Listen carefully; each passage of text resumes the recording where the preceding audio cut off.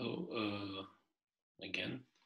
So now we are going to continue with page faults, basically.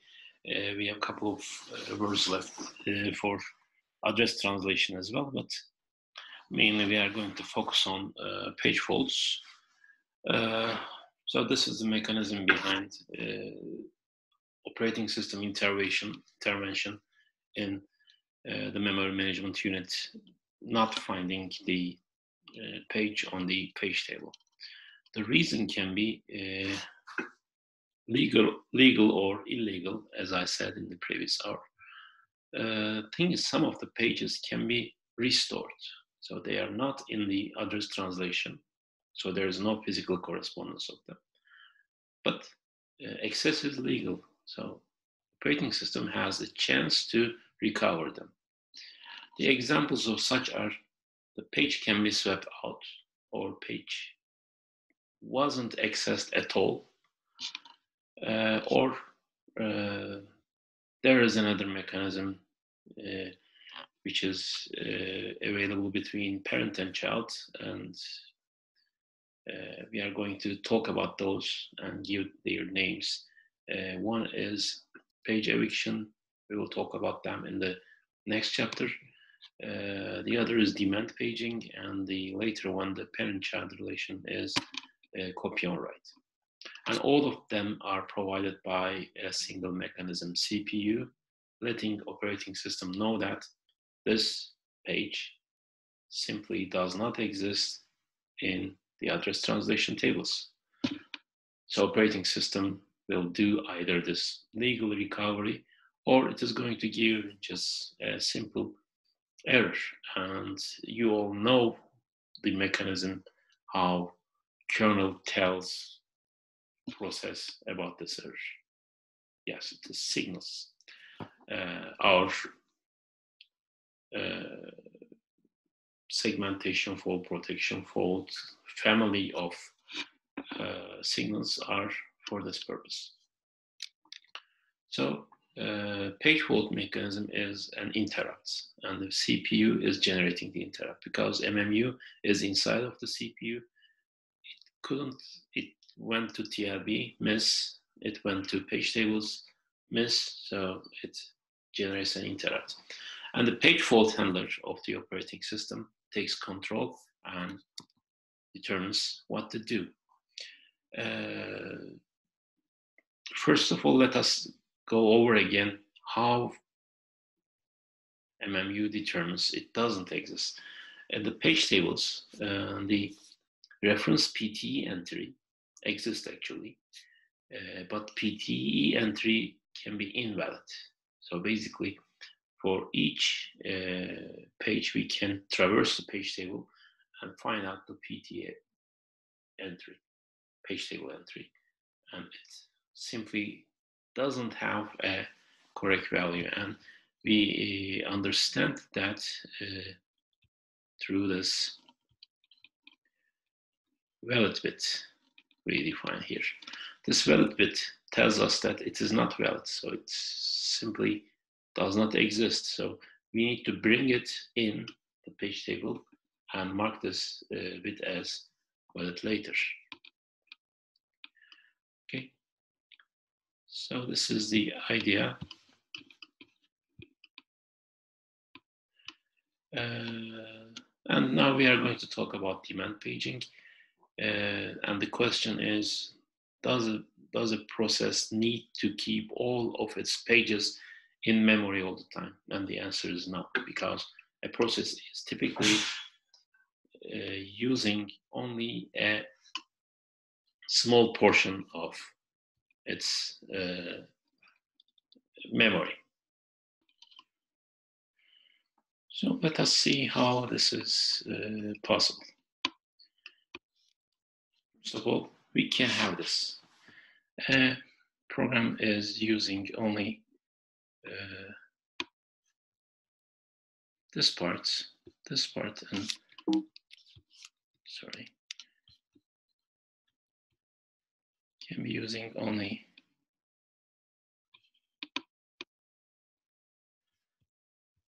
this part.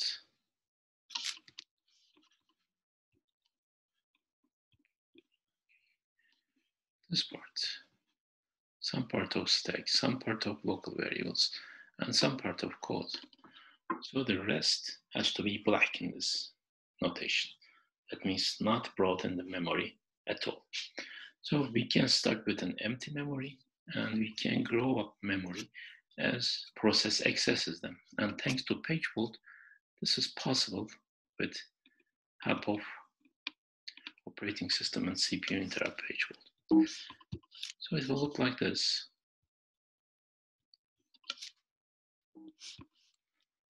So initially it will look like this and it will grow up as we reference them.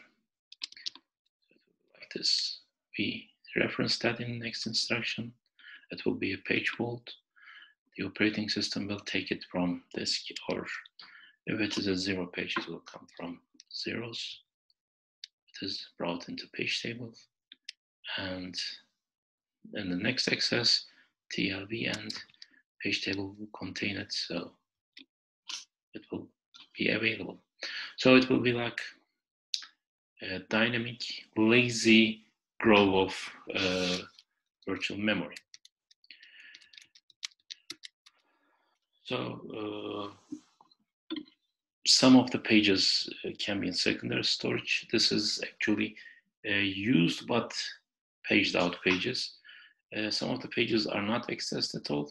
That means they are new, so your program has started just now, so they had to be taken uh, from some other place, secondary storage, or if it is zero, it can be initialized to zero. And some of the uh, pages are coming from read-only text pages from the binary and so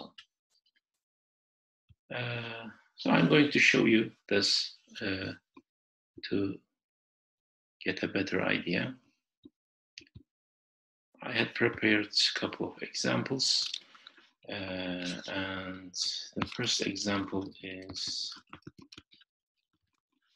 this demand paging example. It is similar to just our previous example where we have uh, created this initialized, non-initialized segments, but uh, now uh, we are not interested in the non-initialized part. We are uh, going to use, actually, uh, we can do the same experiment here as well initialized and non-initialized segments. Uh, but uh, I'm going to show it on this heap variable, which is uh, larger than the others, which is like 30 million integers. So it is like uh, 120 million bytes. Uh, and then I'm expecting this heap uh, segment to start with a large area mapping as I have this malloc. So it will be like 120 megabytes will be mapped into memory, but not in the physical memory if we have demand paging. That means the actual memory that our process uses is uh, shorter than uh, 120 megabytes. However, in this loop, if you look into this part, you will see that I am making an access.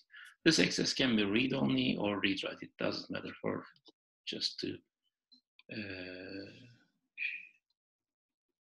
just I have chosen to update it. Uh, probably optimizer may remove if you didn't uh, didn't use this area. So uh, in order to get rid of the optimizer, I just put one of the bytes i. So I am incrementing the memory area by 500 and uh, once in 500 bytes, I update the memory. And I sleep for two milliseconds, something like that. And then I report something. So this loop will go like many times and it is going to just uh, update some of the pages. Actually, it will update all of the pages, some of the bytes, but only it will update uh, all of the pages because a page is like four kilobytes and once in 500 I'm going to make an update. So it is uh, like in uh, one second it will update like two or three megabytes of uh, memory and in demand paging it will bring uh, memory into physical. So let us execute this code here. So, the other part of the screen. Actually, I can start it here.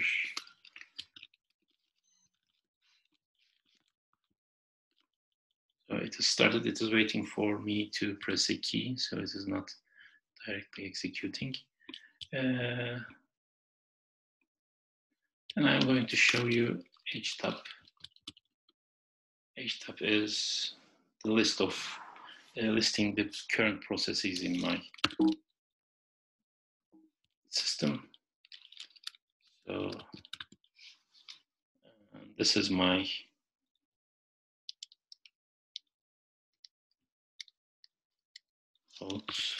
my program process. And if you uh, notice these numbers, uh, the virtual here versus resident.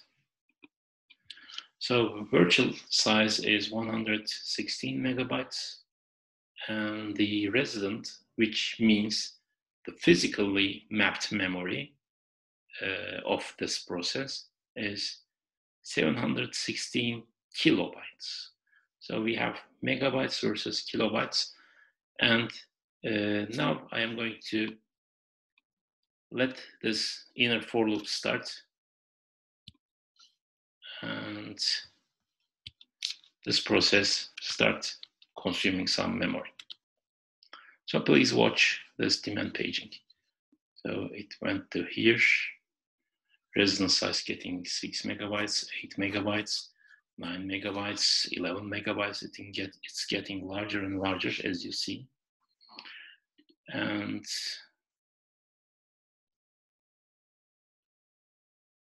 so it is 22, 23. So as the small percentage at the lower bottom part of the screen goes larger, it is going to uh, approach this 116 megabytes is going to use all of them. Basically, you will see 116 something or close to, close to 116. Uh, and this is how uh, a newly started process, uh, process memory uh, grows. It will start like zero bytes resident, and from that, by getting page faults one after another, uh, it will get uh, larger and larger. So demand paging uh, may look uh, time, some time-consuming task, but it is not because uh, bringing everything in advance has a cost, and through a page fault has a cost, and those costs are close to each other. By demand paging, you do not load all of the pages. And this is the uh, advantage of that. This is what you uh, get out of this demand paging. Now it is like at the end, and now you are going to see uh, the okay it gets 90 and you will see 116 or something close to it because still there might be some pages which are not mapped yet. Uh, okay, so that's the end. If I press another number, it will just disappear. I would like to show you uh, also PMAP so that do not confuse demand paging with this area. The area grow is something else. I'm going to show you that as well. Uh, in the address translation part, I'm going to show you that as well. Uh, so now it is working.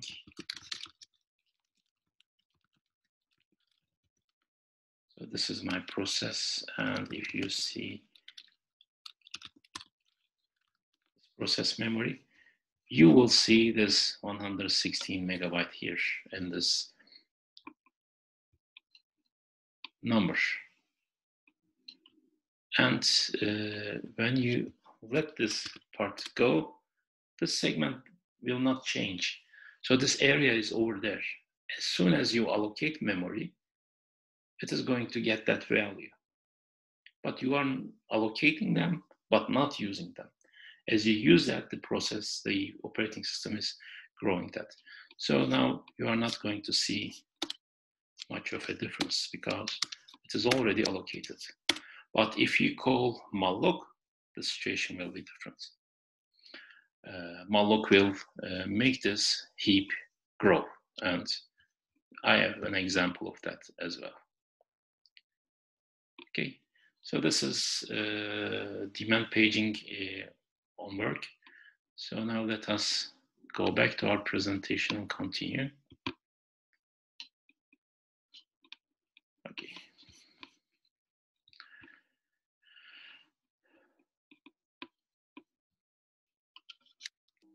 So it is like that. Uh, so uh, the page faults uh, bring in pages from uh, different resources.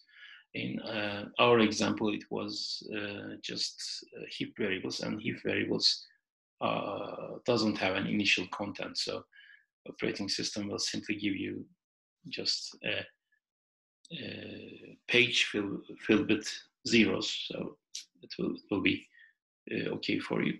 But in case of, uh, for example, a program's binary, it will be uh, different. It, it, should be taken out from a file. For example, you have a 100 megabytes binary, a large software. Uh, the executable part is like 10 megabytes. So, but you jump to main and waiting for user input to go on. So main is like a single page and you are waiting on that page and the remaining uh, 9 megabytes something is not loaded yet. But when you jump out of main to some function, then it is going to uh, load that page and it will go like that. So uh, your code will be bring it uh, brought in by the file. So it is and uh, page fault operation requiring I.O. And uh, I would like to show you uh, PMAP again to make that more sense. Uh, so going back here, if you noticed, there are files here. So this demand paging is not name of the process, it is the uh, name of the file. That means those areas are mapped to different areas of that file. So that means if you have a page fault in some area of, that file, it is just uh, 4 kilobytes, so it will not be a big deal. Uh, however, if you had so, for example, this one is a one megabyte file, which is libc, uh, when you uh, access different areas of libc, it is standard C library, by the way. Uh, it has started bringing pages from where the libc file. So this file is somewhere on disk. So if you ask this question,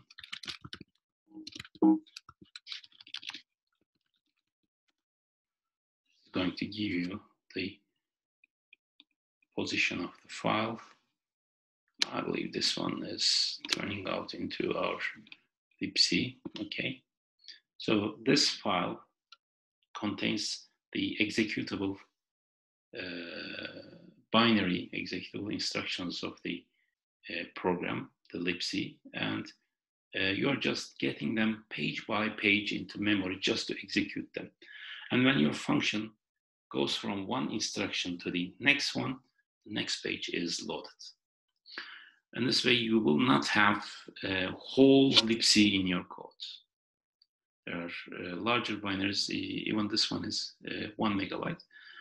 Uh, you don't need all of them. You are using only printf and a couple of other functions. So you, on, you are only using two pages, three pages out of libc. Okay. That's the nice thing about it.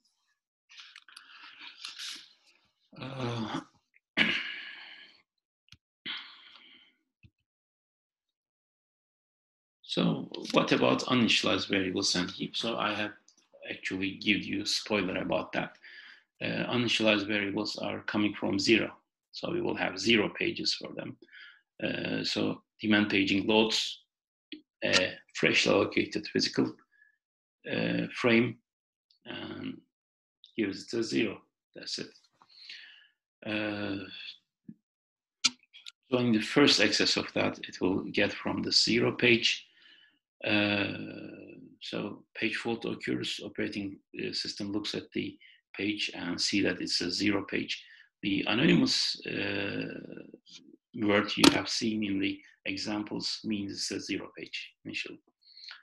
Uh, not at the moment, but initially it was a zero page.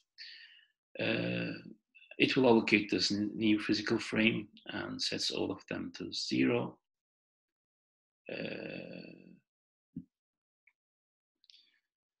um, why is a good question here. Why do we initialize that to zero? Why do we have to spend CPU time to make it all zeros, not as it is? The answer is related to what was there before. We are initializing it to zero. Before that, what did that page contain? Another program's memory probably, and that, that could be an important security problem because that process uh, maybe maybe belonging to another user another process. So it can be a security issue. So you should always uh, clean up the pages when you are giving it to another process. Uh, of course, uh, the position can be different. For example, when you are delocating, you can make it zero. It is not a wise choice. Uh, by the way, I'm going to talk about that in the next chapter. So you do uh, initialize it when you allocate and give to new process. And the actual thing is slightly different. I'm going to talk about that in the copy on write section. Uh, so uh, the heap is similar, uh, but we have uh, one simple difference uh, between heap and the global variables. in the heap, as you know, you can allocate one byte, two bytes, four bytes, eight bytes. Uh, and one good question is, uh, does uh, that request, four byte allocation request, arrives at operating system or not? Operating system is too busy to deal with these tiny pieces of uh, simple uh, memory areas. Uh, so what it concerns is, what it is interested in is just to deal with larger memory, the pages. So operating system works on page boundaries. And within the page, whatever you can do, you can. But it gives you page by page allocation in the finer uh, uh, case. So uh, who handles within the page case? Who handles your four bytes? And the answer is C library. Our C library has an allocator uh, it can deal with this tiny pieces. It has data structures dealing with those uh, tiny areas of segments. Uh, dealing with fragmentation, etc., is the job of C library allocator. Uh, and when it needs actual memory, it asks operating system to give more memory in the heap. Okay, so this is the case. So uh, the demand paging or paging has not uh, only uh, advantage of this lazy allocation of pages, but also the mappings can be shared. So mapping is like a pointer from one array index to the another. And what happens if two pointers point to the same area? For example, we have two shells and two shell code is exactly the same. It is read only, by the way. So do we have to make a copy in one shell, another copy in one shell of the exactly same bytes? And the answer is no. And who is going to maintain this? Of course, we have hardware address translation and uh, the PTE of those pages here. Okay, is the same for the PT in this address translation. Uh, sorry, the frame address here is listed in PT of this and PT of this. Both memory management units point to the same, and that's it. That will solve your most of your problem. Of course, you need uh, to keep track of number of reference to each frame and so on, but rest is quite easy. So this will uh, end up in something very interesting. If you have thousand processes in an operating system, each of them are using libc. libc is one megabyte. Thousand processes, one megabyte libc is one gigabyte of libc. No, it is just one megabyte of libc shared by 1000 processes. And it will uh, make your memory usage much more efficient for read-only pages. What about read-write pages? Actually, we have seen this. We talked about in the inter-process communication that we can map uh, areas of memory shared by multiple processes so that they can exchange information through that. But SHM get, SHM attach, detach, and so on. Uh, this mechanism is exactly similar to uh, code sharing or file sharing. We are creating the physical memory area, mark it as shared, and the mapping is the same. And the address translation maps uh, exactly the same pages to uh, uh, addresses to same pages, same frames. That's it. Uh, memory map files are handled in the same way. So we uh, memory maps a file or region of a file into memory. It will be available in the uh, virtual memory area, and then we just keep using it. And multiple processes can map the same file, so they are going to access the same file. If you remember in IPC, we talked about this. Uh, by using mmap, you can have shared memory. And this shared memory will also uh, have a reflection on the actual uh, files. Uh, I can uh, show it to you. I can find my sources here.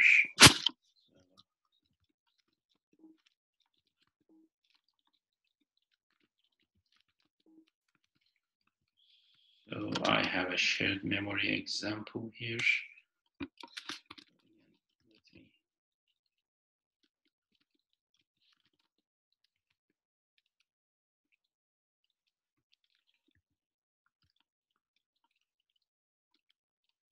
this is my example.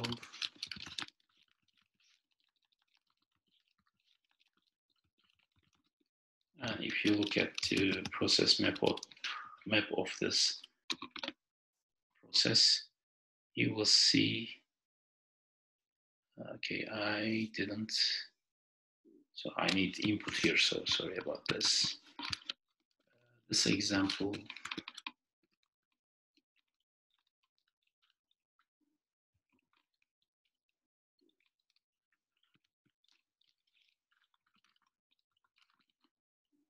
this is shared the example. I have this editor and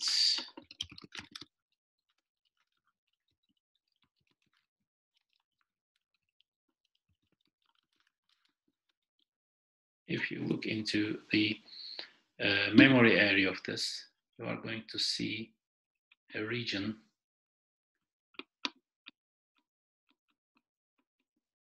which is marked as shared this one, okay? So this one tells us that uh, it is a memory mapped file. That means uh, those areas here of this process will be mapped to pages of this file. And uh, for the uh, paging subsystem, uh, this file pages are not duplicated. Only one frame is allocated per page of this file, and they are shared among the multiple processes. So the same thing, um, address translation will give you this uh, frame, or which frame is backed by this file. It is the mechanism. Okay. So now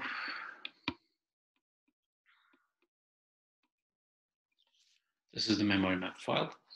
Now we have uh, another uh, advantage of paging, which is uh, fork. If you remember, we were talking about the efficiency of fork and magically fork manages to be efficient. So you have 112 megabytes of memory in one process and the another one, which is forked by this process, does it going to have that or not? And this is the uh, problem here. So our demand paging example, we created 116 megabytes of memory and assume that process forked after having all of that memory resident. 100 megabytes of memory resident and it forked. Am I going to copy all these physical frames into this newly forked child? And the answer is no. And that mechanism is called copy on write. Uh, the thing is, I only have to copy those pages if they are different from each other. If they are same, I don't need to copy them. I can share them as if it was shared memory. So parent and child shares memory basically in the address translation level. They both uh, translate into the same physical frame. But the semantics is not like that. For read-only pages, there is no problem. But for read-write pages, if one changes the variable, the other should not see that change. It needs to have another variable or older value of that variable. How we handle that? Again, we are using this lazy approach. We delay this duplication until it changes. How it is possible? How operating system will know that the page has changed? CPU is simply updating an area. An operating system is not aware of that actually, unless we do something, we, unless we do some trick. And Uh, if you remember the mechanism between the CPU and the memory management subsystem is page fault. We can use page fault actually. However, in order to get a page fault, we should have some invalid instruction. And this memory access should be invalid. And the mechanism is you are trying to write something which is not writable. So what we are going to do is we will have read-write areas but we are going to mark them as read-only so that when CPU tries to write it, we are going to generate a page fault, a protection fault, so that operating system can intervene and make the trick. So it will, it will uh, work like this. So parent has this page table entry pointing to this, and child is initialized to have exactly same page table entry. So this frame is pointed by two, uh, two PTEs. Uh, and in this mechanism, if you don't do something specific, if child changes, parent values will change. If parent values will change, child will change as well. However, what I can do is I can mark them read-only. Even though this frame, the heap, stack, initialize, uninitialized variables are read-write areas, I mark them to be read-only so that page fault can kick in. When child or parent writes the page, operating system will get a page fault. You are trying to make a write access to a read-only page. And then what happens? Operating system will see that, okay,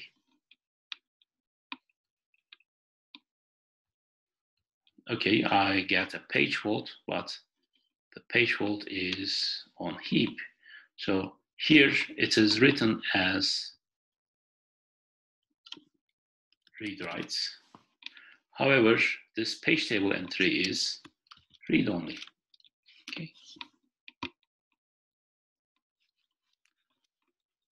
So this is read only.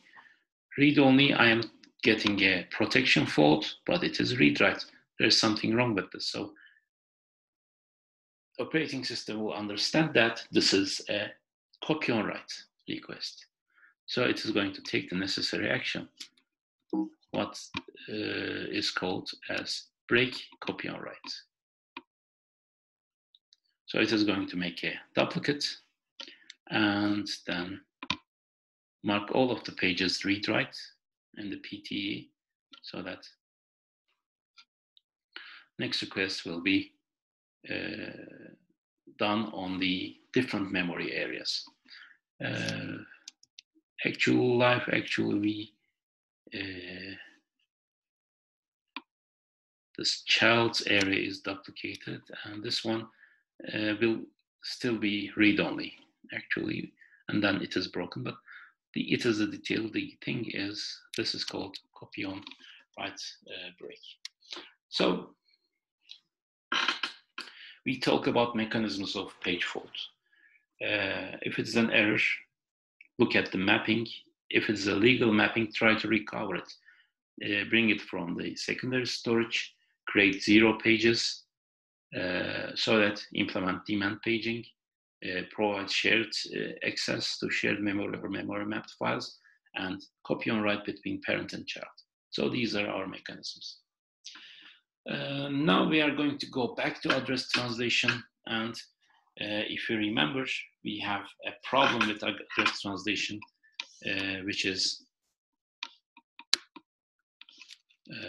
the here's the, if I can find that.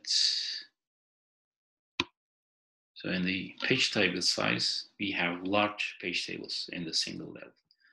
And since uh, in addition to demand paging and the other mechanisms, uh, that page table will be uh, not fully utilized, mostly fragmented. So we will only use very small amount of virtual memory area per process. So in order to deal with this, what we need to do is we need to uh, have a better page table architecture. Instead of a single level page table, uh, table we can create multiple levels. Uh, so we are going from this uh, linear array layout into some tree-like layout. We uh, divide our virtual address space into three parts instead of two parts. So offset is the same as usual. So it is basically kept as the same, like this. Uh, we have a primary page table. It is similar to uh, the single level page table, but it points to it points to uh, other page tables.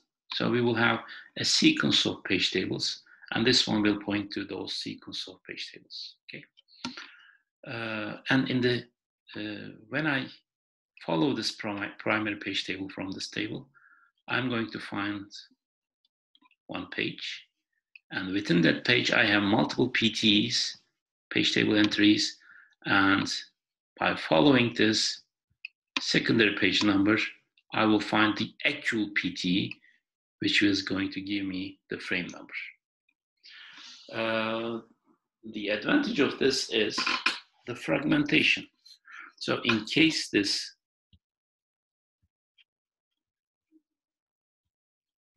memory address space is fragmented, I will have all these black entries here.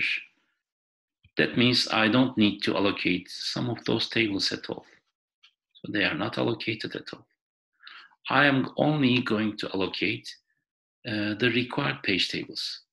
Also, within the secondary page tables, I will have invalid entries as well. So I'm going to only need uh, the areas that are used by the processes mapped. As a result, uh, the actual uh, practical size of the page table will be much more smaller in multiple levels.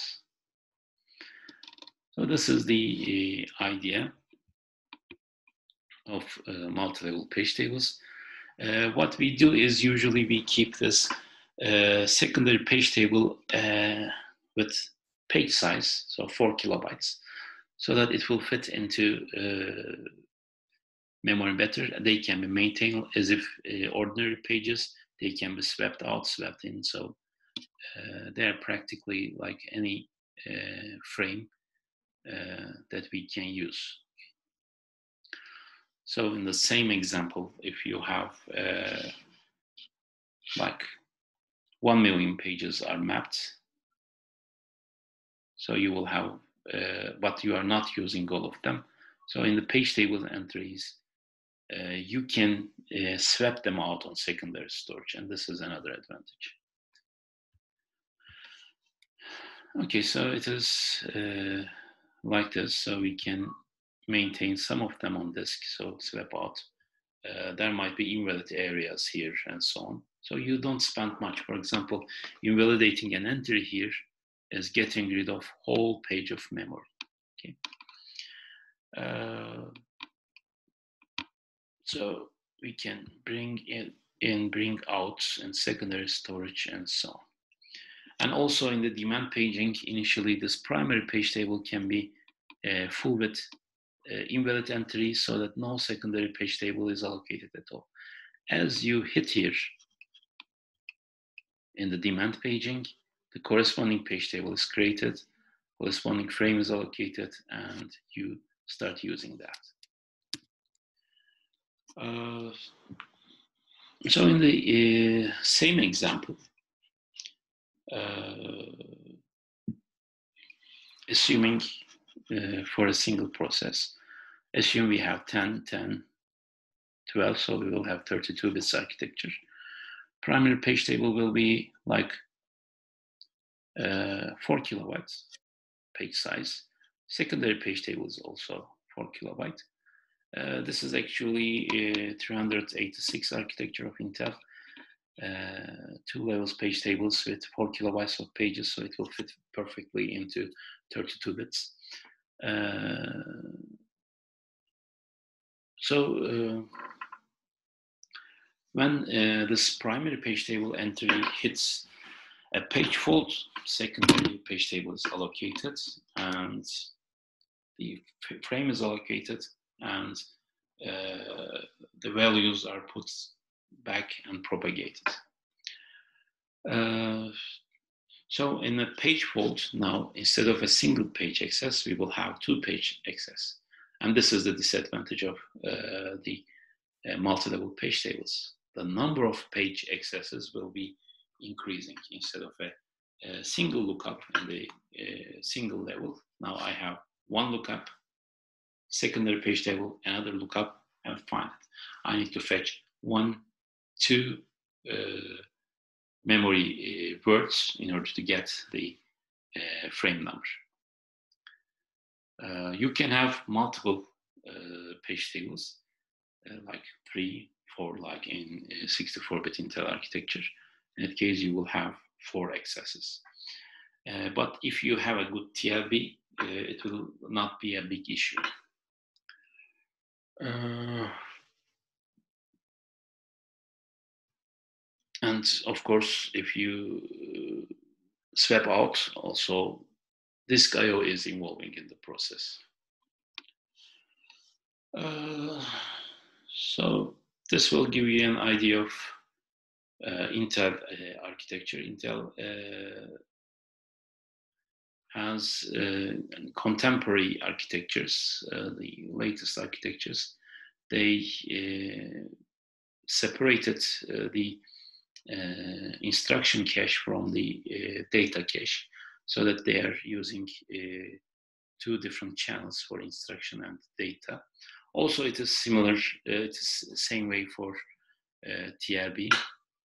Uh, and we have level one, level two, level three, and level one size is quite small. in level two, you get like 200 quarter of a megabyte and in the level 3 we have 8 megabyte but level 3 is shared by uh, multiple uh, cores and per core we have only uh, those half a megabyte of TLB and a quarter of a megabyte data cache so this is the entries of four way or eight way that means how much of the uh, cache is associative, how much is uh, shared. Uh, and then this is the main memory. The worst case is going back to main memory. So this TLBs uh, are uh, making the address translation possible. And after address translation, the physical memory mapping is going through this uh, part of the cache. So I will not go into uh, details of the symbols. We have uh, indexes, physical page offsets, cache index, cache tag, and so on.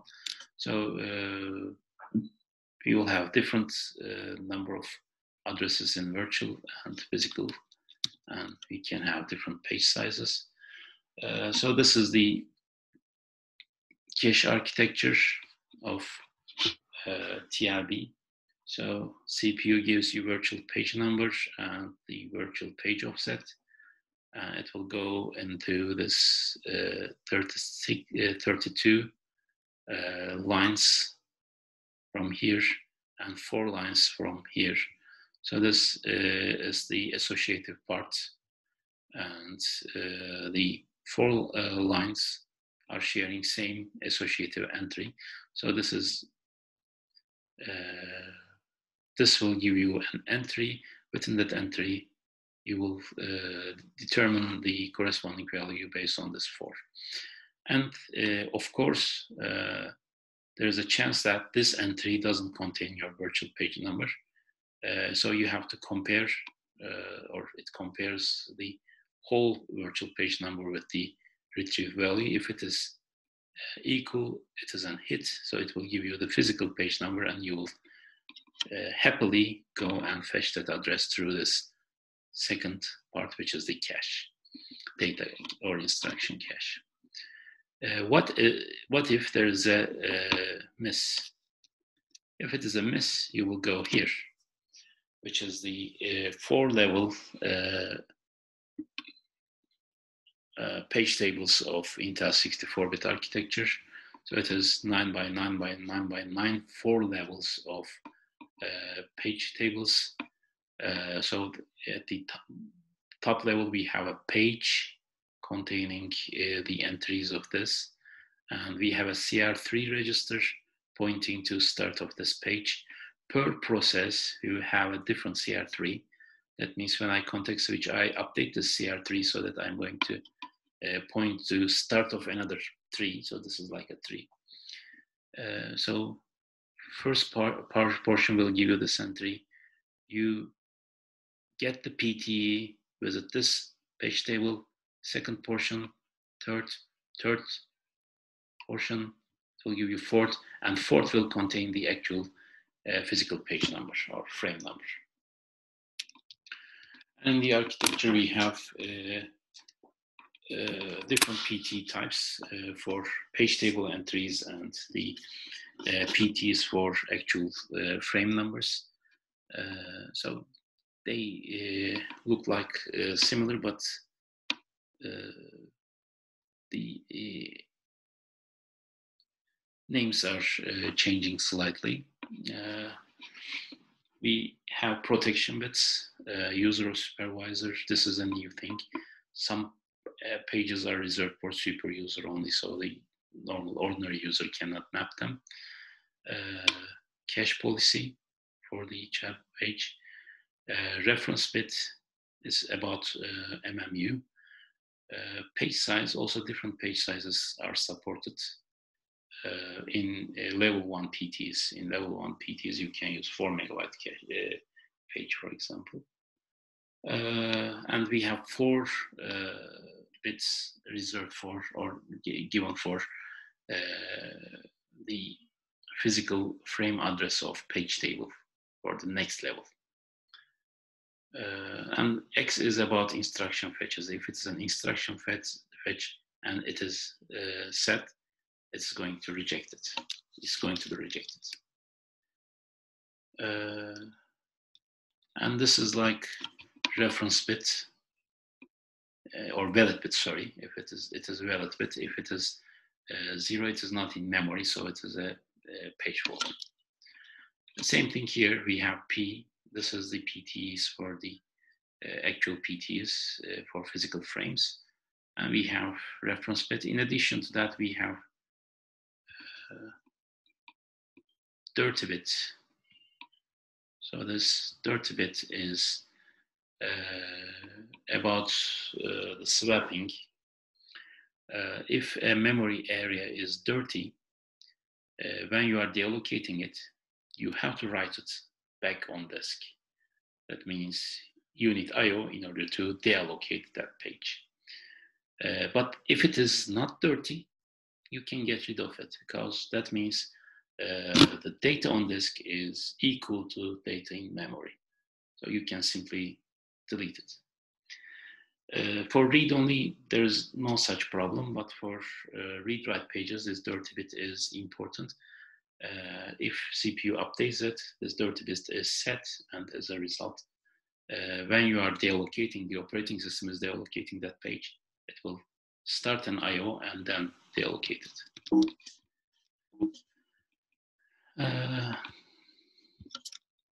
so this is our picture, and this is uh, the uh, Linux uh, memory area uh, we have one important part of the memory, which is uh, the kernel.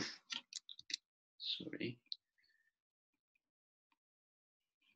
And this area, the kernel is uh, fixed for all of the processes so that you don't have to take kernel out in all the time. Kernel is always in the memory, but it is uh, beyond access of the uh, user processes. If a user process tries to write that region, it is going to get a page fault. As a result, it will get a protection fault. Uh, and you can see that in the PMAP here.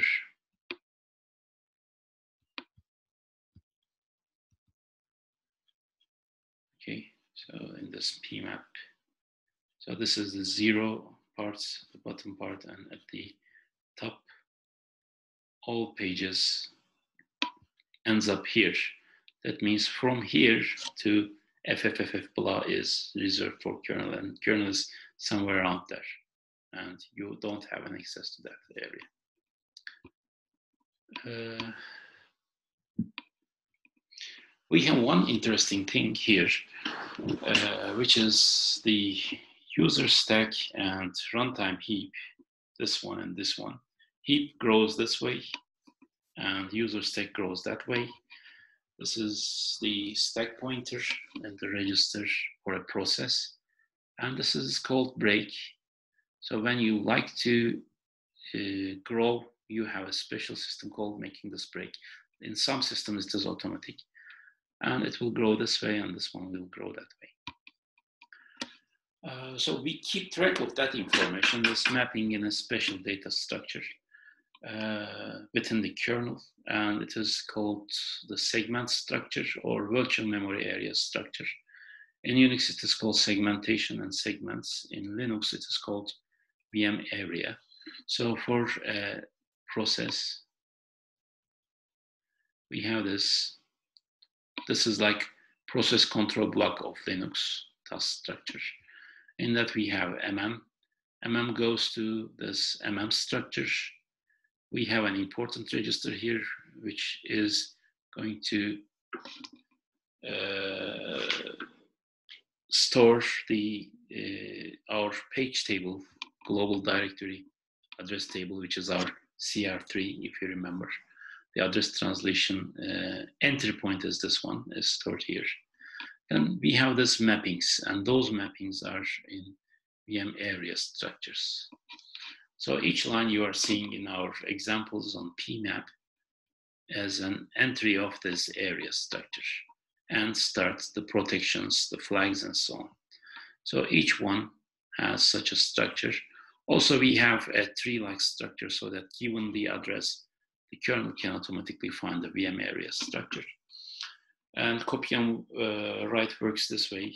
We have this VM protection, which is read write what you are having a protection fault because it's read only. That means it's a, uh, copy on write.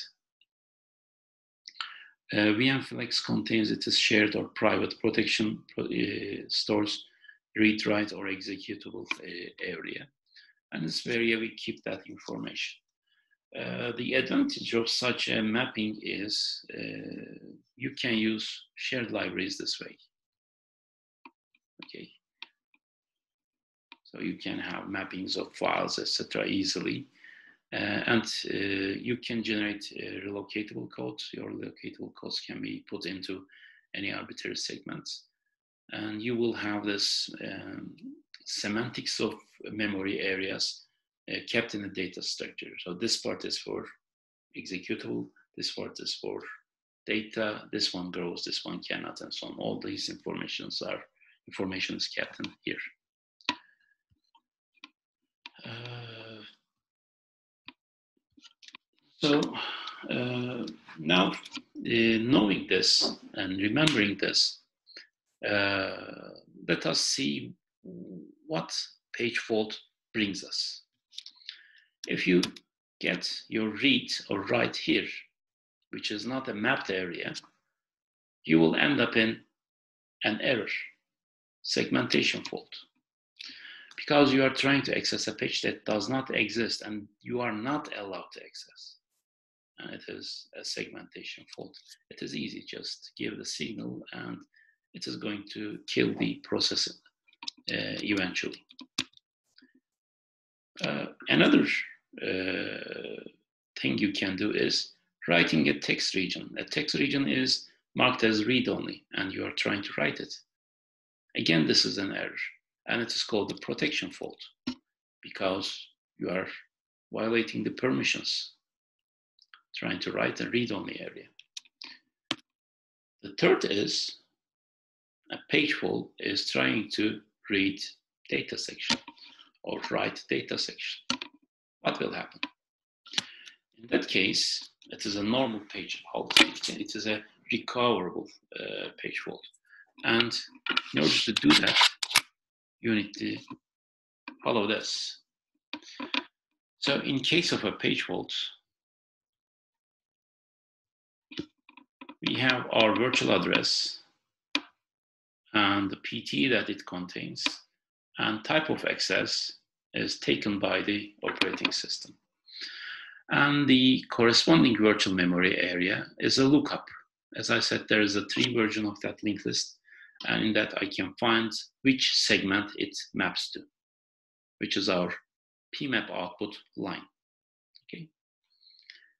Uh, then, if you couldn't find it, it is a segmentation fault. It's a segmentation fault. If the protection, sorry, I lost my cursor again. Okay, if a protection of the PT is read-only, but memory area is write, it means it's a copy on write. So I need to break it. I need to break this copy on write. So I will have this handle call are going, I'm going to mention in a moment. Uh, if this type of access is okay for this area, however, PT is not valid, that means I need to uh, find a way to load that page into memory. Otherwise, the access is not correct, so I'm going to give a protection fault.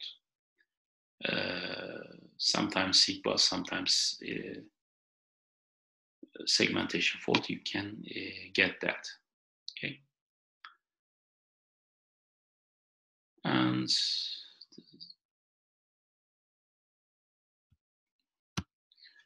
so now how we can load a page. Let us talk about that.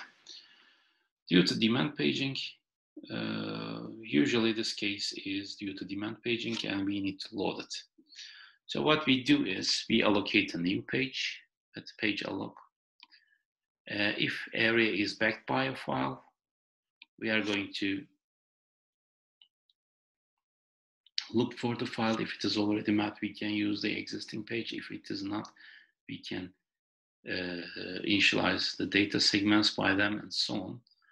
Uh, so this back by file case uh, can be either memory map file or uh, initialized data segments coming from uh, the uh, binary or it can be swept out, used in the past but swept out. So we start the IO and sleep until IO is available. So this is the place the uh, process sleeps in order to access a memory area because IO takes long, but the CPU cannot wait. We cannot make it busy wait. So what we need to do is we need to wait until IO is complete. So we are going to go and sleep. So you are making a simple uh, uh, memory access instruction and you went on sleep. This is possible through this page fault backed by file load page case. Otherwise, we initialize that to zero and we mark PT as valid. Protection is uh, taken from protection of the uh, virtual memory area and our new address, the frame number in the PT is our page number from this new page in the physical memory. And we update address translation with this new uh, PTE. Also, it will update uh, TLB so that when I go back from interrupt, CPU will try exactly the same instruction. And same instruction will access memory and is going to find it on uh, the page table. It will update TLB and it's going to access TLB in the next time. So this is the page fault and copy on write is slightly more complicated. Uh, so we have this uh, page is in the PT available. For each page, page we have to keep count of this number of references. So for the uh, child and parent case, number of references should be two if copy on write is not broken yet. If it is one, the situation easy. I am the only one left uh, which has uh, access to that page. So I am going to mark that page as, uh, sorry, read write, and that's it. Um, and update the address translation. Of course, this PT should be propagated. Else, I allocate a new page, copy page from the old page, uh, update my PT, mark it as valid, valid, and update PT address with the new page address. Uh, I will decrement number of references and go.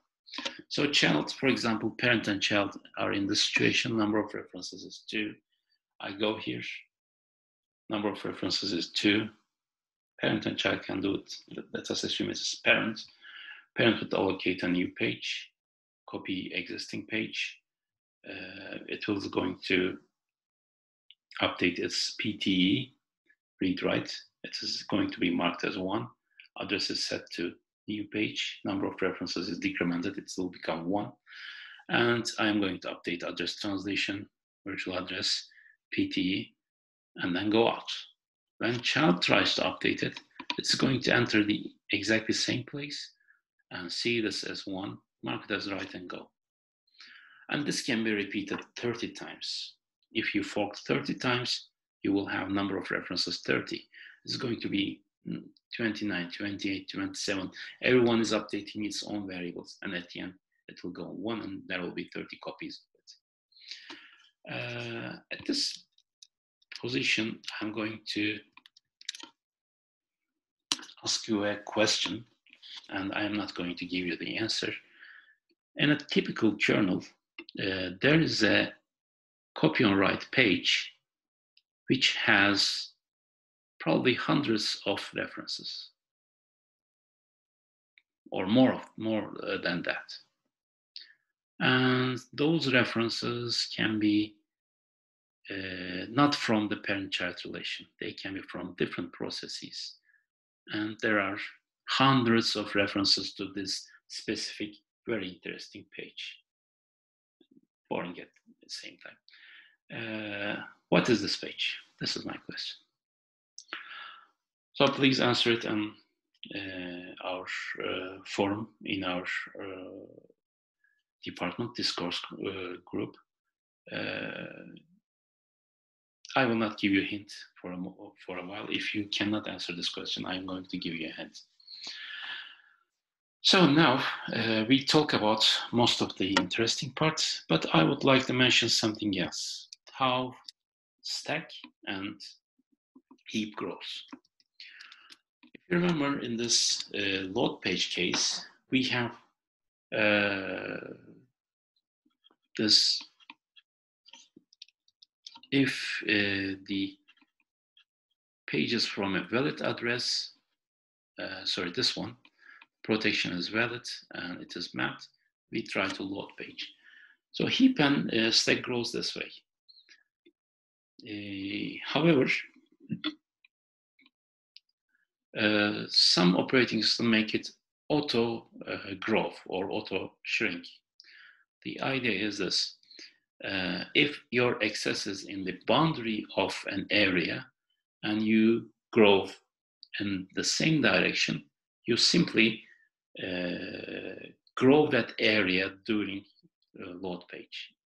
And stack will go up and, or stack will go from larger to smaller and the uh, heap will grow from smaller to larger. And this way, uh, by accessing the boundary, uh, we can make our stack grow or shrink.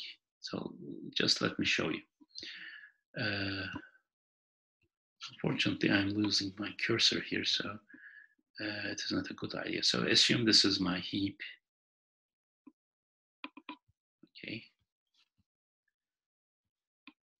So this is heap.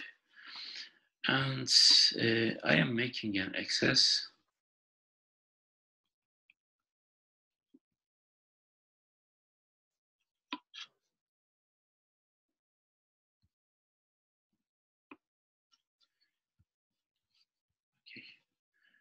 I'm making access to uh,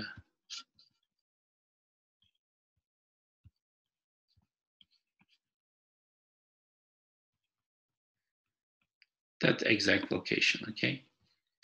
Uh,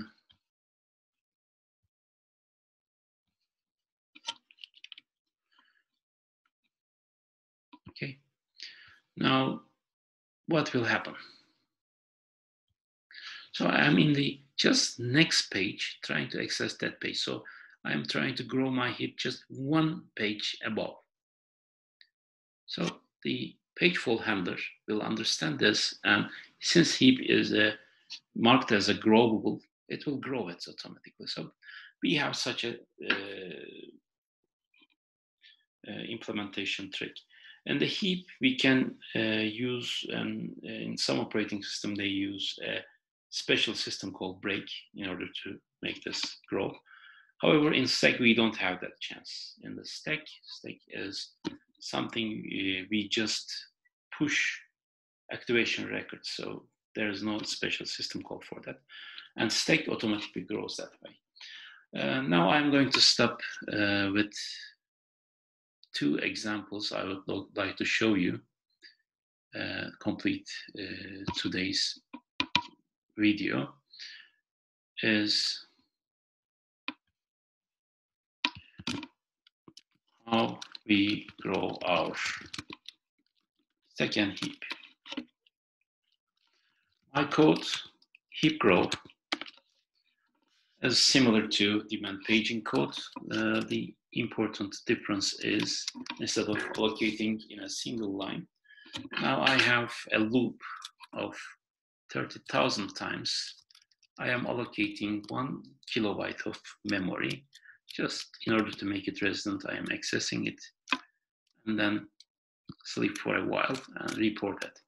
The idea here is this code will have 30,000 times allocate one kilobyte. So it's going to allocate 30 uh, million bytes. Uh, in order to show you that this, uh, I'm going to show you how process map changes. So now let us execute this code. 30,000 times allocate one kilobyte, okay? Again, it is waiting for me to make it go on. This is called heap growth. So I am going to make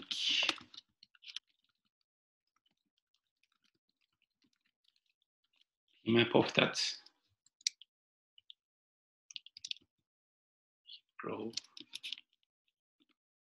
Okay, so this one. Uh, but I would like to show you this uh, in a loop so that you will see how it changes. I'm going to have a sleep and show. So it's something like this. It is showing me current case. So I would like to, I would like you to focus on uh, this. Okay, so this entry basically. Uh, and of course, this size here. Okay, now I'm going to let this code go. As you can see, as I allocated, the size of the heap is getting larger and larger. Uh, however, the start address here does not change, okay? So this address remain the same, okay? Uh, so heap will grow from smaller to larger. Uh, and when it uh, allocates this 30 megabytes of memory, it is going to finish. Okay. Uh, this is not related to demand paging, but how uh, segments grow. Okay. Uh, I have another example to show you how uh, stack grow is like this. I have a recursive function that I call recurse. And in that recursive function, I have one kilobyte of memory. I make it resident by this. But this is not about uh, if address is resident or not, but it's about segment size. Uh, and it is making same thing, sleeping for a while and recursing so it will, it is going to recurse 5,000 times and it will make 5,000 time activation record of this record of this recurse and 5,000 times it's going to create this local variable x. So it means five uh, megabytes uh, of stack will be created. Uh, in a typical system, a stack is limited by eight megabytes in order to avoid this uh, Uh, infinite recursion problems. So I have chosen five megabytes. So now I am going to start my application, that program, and we are going to observe stack growth.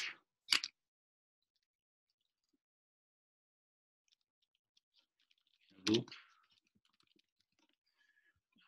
I would like to I would like you to focus on uh, the stack in this case. The size of the stack and now this number as well. Okay. Now I let it go. As you can see, stack is growing.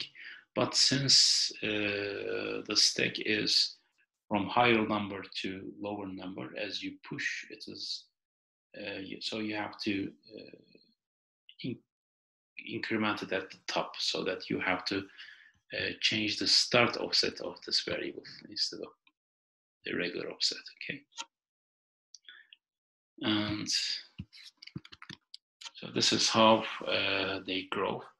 Uh, the uh, copy on write is hard to uh, observe, but you can observe this way. You can create a very large uh, process and you make it fork multiple times.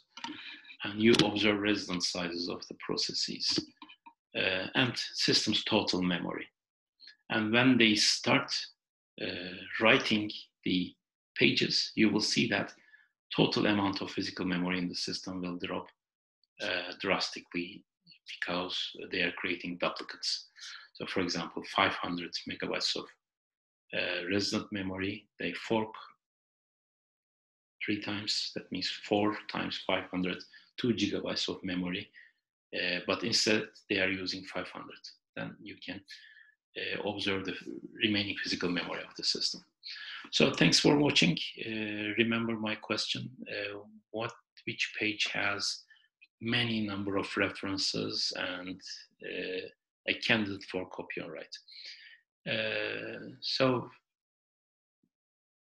today I'm going to stop and uh, I will come with another video which is related to uh, what will going to happen if our system is short of memory.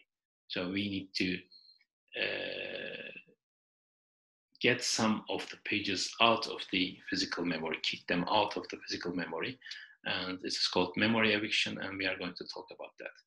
Thank you very much for watching. See you in another session.